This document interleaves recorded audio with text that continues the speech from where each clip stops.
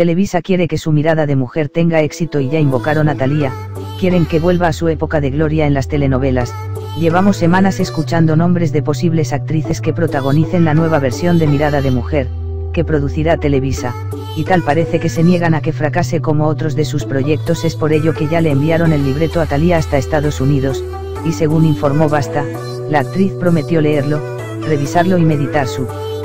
decisión. Mayrin Villanueva y Leti Calderón eran otros nombres que sonaban para interpretar a María Inés, una señora madura divorciada que se enamora de un joven escritor si Talía acepta, significaría su regreso a las telenovelas después de 18 años, y sin duda sería un acierto para reconquistar a los televidentes, pues la actriz es considerada una de las reinas de las telenovelas gracias a su trilogía de las Marías. Sin embargo, Talía actualmente prepara su nuevo disco, así que tendría que buscarse el tiempo para promoverlo y meterse a un foro de grabaciones. Además, ya había surgido el rumor de que Carla Estrada la quería para su nueva telenovela con William Levy, pero nada de eso se concretó que deberían hacer para convencer a Thalía, y no se olviden de suscribirse al canal darle like al vídeo para tu dosis diaria del mundo de la farandula cine y moda y más.